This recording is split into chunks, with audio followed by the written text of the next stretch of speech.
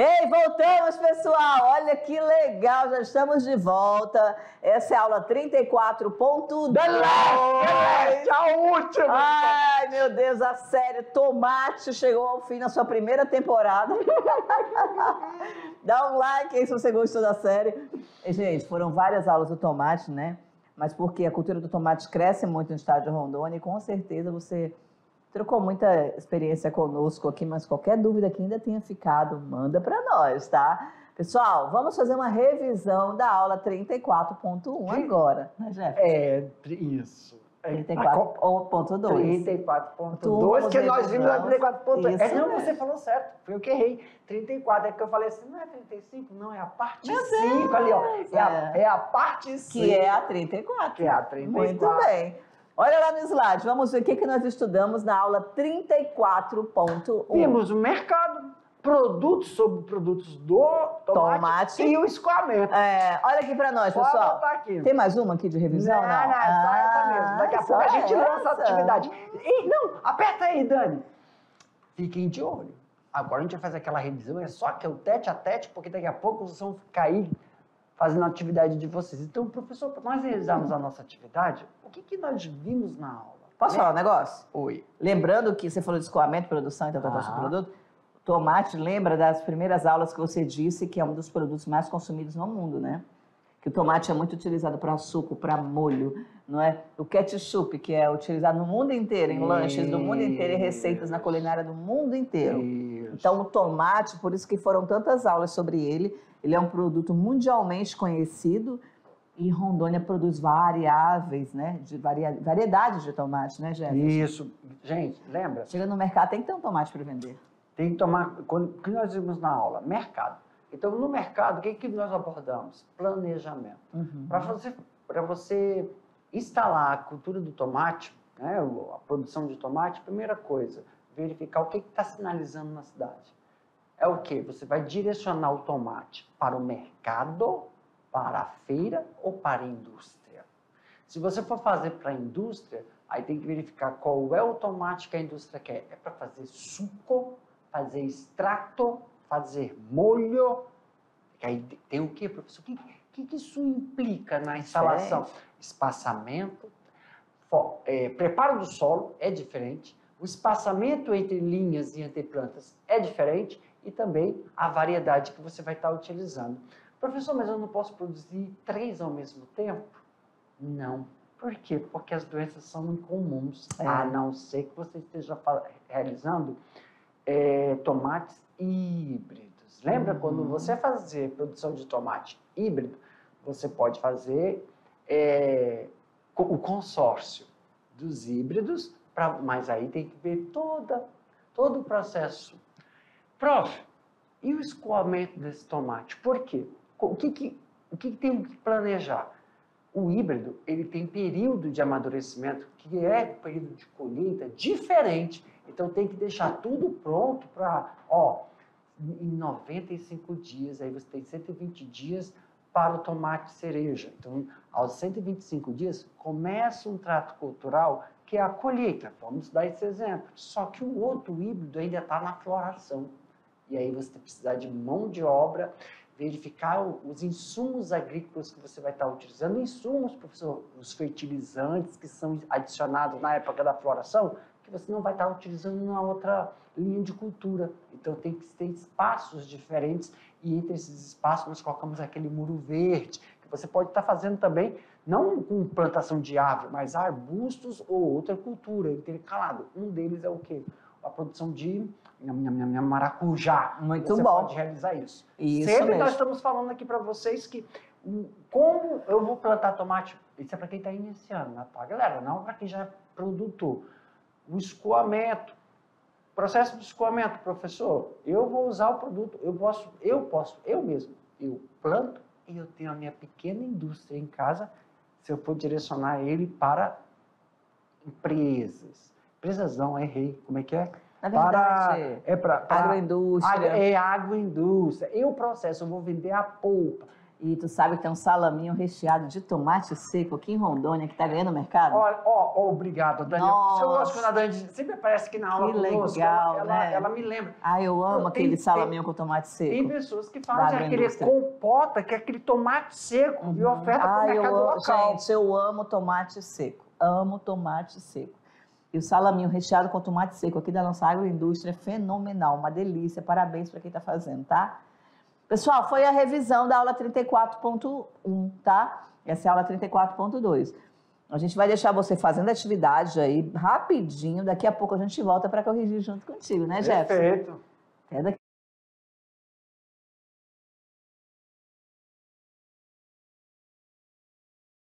Olha lá, voltamos para corrigir a atividade. A questão agora é tomate, pessoal. Chegamos ao fim de várias aulas sobre tomate e essas são as questões que você já respondeu, hein? Tô acreditando nisso. Sobre tomate. Olha a questão 1, hein? rapidinho, simples, direto e reto, né? Caracteriza o mercado do tomate. Deixa eu soltar a resposta, Jeff. Sim. Olha lá, o mercado do tomate de tomate no Brasil é bastante variável em função da oferta e demanda do fruto, tanto para o tomate in natura, o tomate mesmo ali tal, inteirinho, quanto para o tomate com finalidades industrial, tá bom? Em situações em que há falta de produtos, preços atingem os maiores patamares. Olha para nós aqui rapidinho. É tão interessante quando sai no- na TV, né, ou na rádio. O preço do tomate subiu. Corre todo mundo para o mercado para comprar tomate. Quem é o vilão? Quem é o vi- vilão?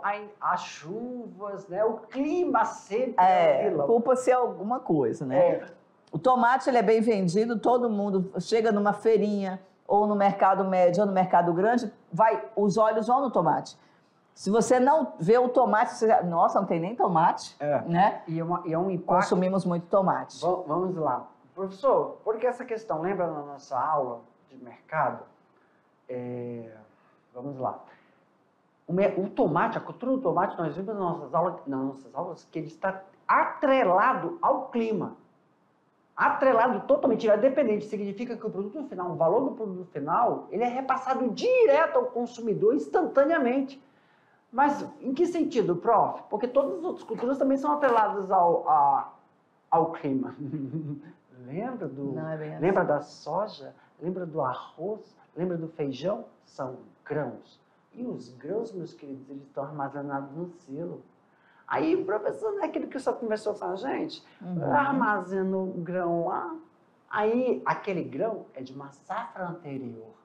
E a safra que está sofrendo agora na- na- não chegou nem no silo. Como é que tem esse reajuste quando chove? Eles falam da soja, que é uma coisa que nós discutimos em sala, né? Lá na nossa aula sobre grãos e silo, que tem esse negócio de oferta e procura. Então, ocorre um reajuste aí, um pouco que a gente discutiu lá na sala. No tomate, não.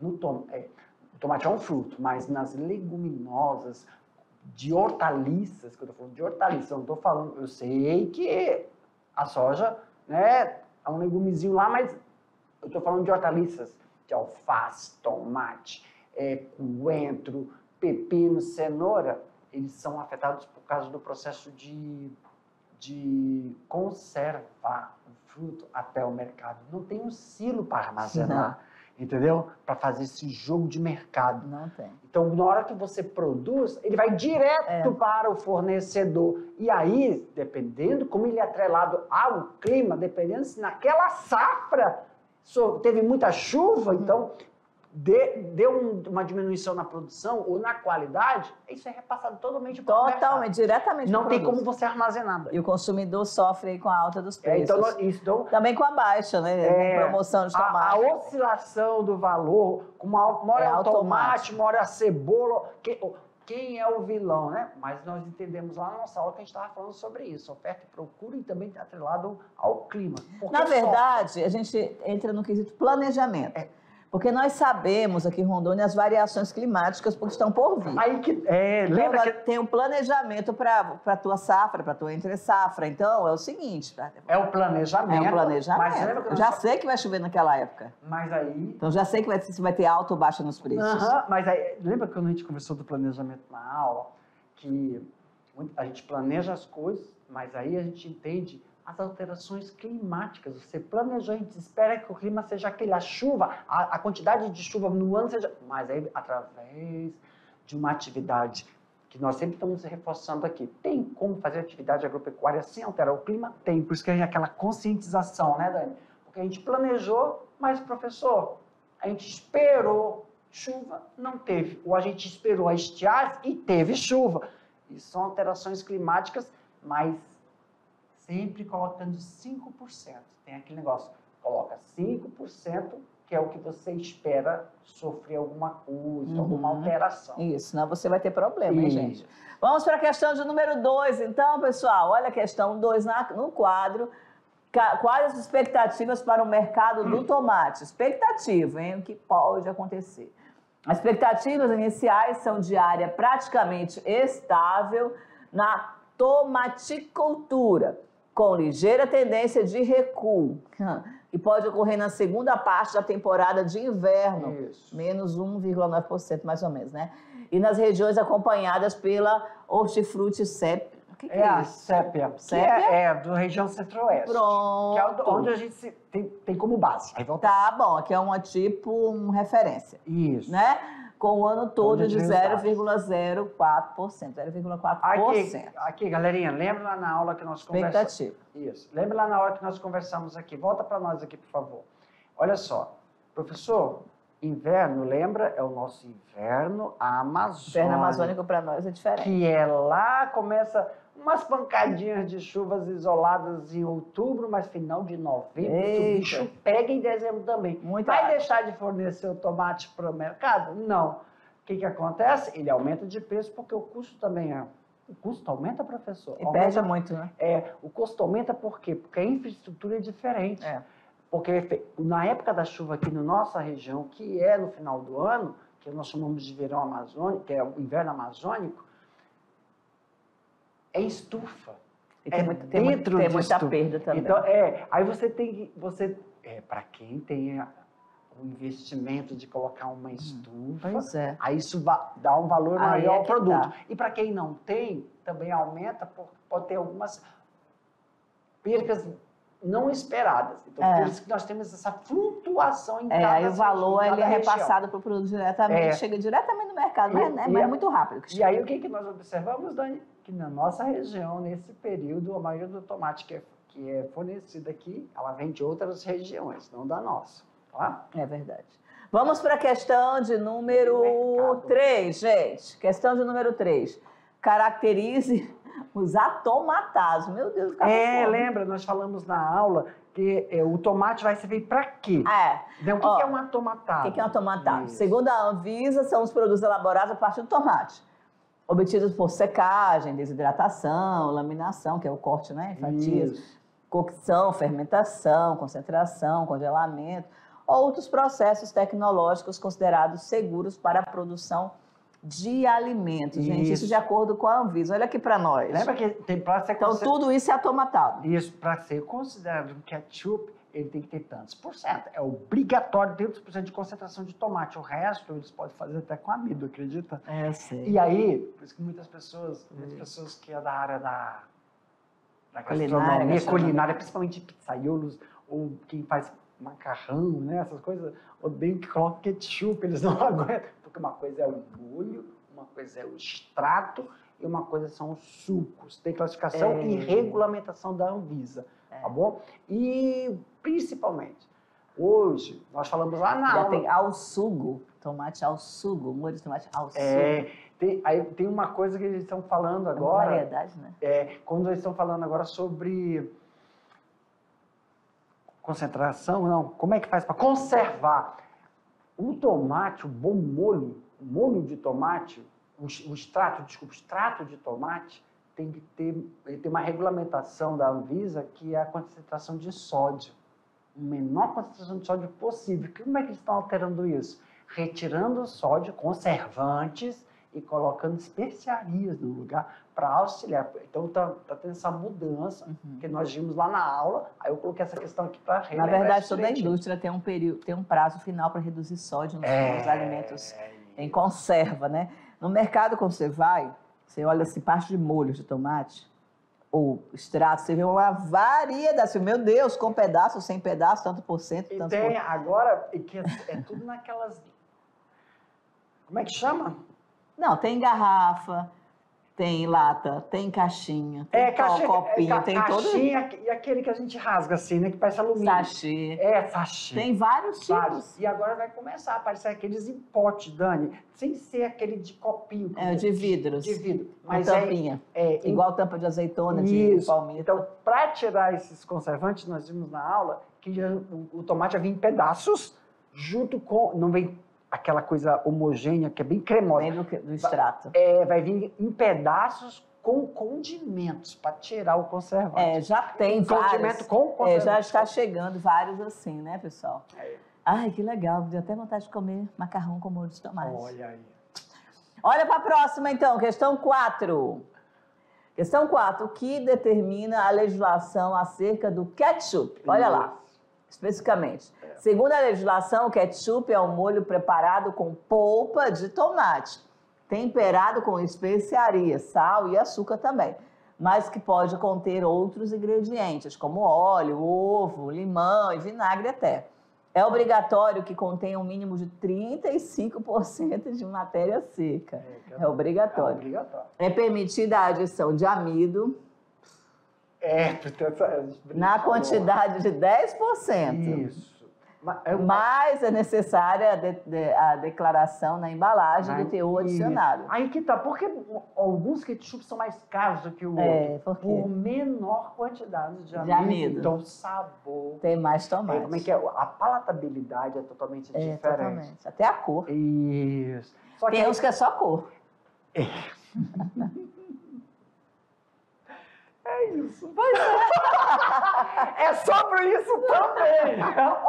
Tem uns que é só cor e amido. é, É, e tá tudo bem. Tá, tudo bem. É uma coisa assim, pessoal. Tem um sabor e tem o sabor e a qualidade. Tem a qualidade do sabor, tem a cor.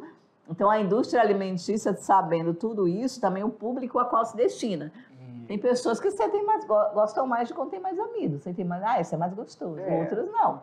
Isso. O sabor do tomate intenso. Tem gente que não gosta. É, então, é realizado isso só para o cliente saber a, a É. concentração. Então, E na embalagem vai me dizendo o que, e que também justifica o valor, né?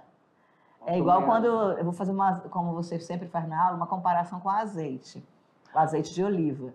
Lá na embalagem vem virgem, extra virgem, para salada, com, com o adicionar de outros óleos. Também que você falou disso. Né? Tem uma aula, uma aula extra aqui na IBAZ, é porque eu estava lendo, lendo e vi um, eu vi uma, uma reportagem e eu, eu me lembro quando a gente começou pela primeira vez a dar aula aqui desde 2017. Uh, 16. Ah, 17 É, é, você. Eu né? entrei. É, eu Você entrei tá desde 2016. 2016. Aí ele me fez o convite, eu estive aqui e as aulas já estão, né? Nós estamos mandando as Caminhando aulas, bem. caminhando. E eu vi um, um assunto que eu me, eu me lembro como falei sobre piscicultura pela primeira vez e não tinha piscicultura aqui no estado de Rondônia. Uhum. E agora eu vou falar, lançar uma outra aqui, que é a, a, a, a produção de, de Dendê? não Azeite de oliva? azeite de oliva. Que legal. Aí o pessoal falava assim, não, o menino tá doido mesmo. Aqui no estado de Rondônia vamos começar a produzir azeite de oliva. Já pensou? Vocês vão ver que já tem sim experimentos sempre com Vai ser um sucesso. Sempre com Vai ser um agricultura familiar. Claro, são ousados. Tem, já tem famílias aqui no estado de Rondônia que trouxeram as videirinhas. Gente, quando nós começamos a plantar uva, todo mundo achou estranho. Uva em Rondônia, Algodão! morango em Rondônia, Algodão. algodão em Rondônia, agora vai ter azeite em Rondônia. É, só que o que eles estão testando, galerinha? Ah, Vamos dar só esse spoiler rapidinho. Estão testando porque a gente sabe que a palatabilidade da, Da, do azeite? do azeite Da é para é, é pra quando nós temos um sistema de. O tempo de estiagem. Então, está chegando agora os híbridos aqui no estado para o período seco. Ai, já me deu água na boca. Eu amo o azeite mesmo. O azeite mesmo é tomado in natura. É, com pão. Você taca Ai, pão, azeite. É o que delícia. É isso Ai, mesmo, Dá. Nossa, até o cheirinho dele. Do azeite de Olha, verdade. O azeite mesmo. É, porque uma coisa você faz, tem, como tem a apuração da nossa pimenta, que é amazônica, no. Não conserva? Em conserva, que é a, pimenta naquele negócio amarelo, que eu esqueci o nome agora. Tucupi? Pensa a apuração da pimenta no azeite. Isso é uma próxima que nós vamos O alecrim também. É, é, fa- fazer isso, Dani. Ai. Colocar aromas e sabores no azeite. Ai, Do deu fome. Vamos comer uma torradinha com azeite na caponata. Pessoal, essa foi a aula 34.2. Você gostou? Eu gostei. Tu gostou, já? Perfeito. Ó, se preocupa não, a próxima agora a gente vai iniciar a cultura do maracujá. Eita, gente, olha. Nós esperamos você na aula 35. Isso. Isso. Deixa teu comentário, envia tuas fotos, envia o nome dos teus colegas, a gente mostra aqui na aula para você, tá? Até a próxima.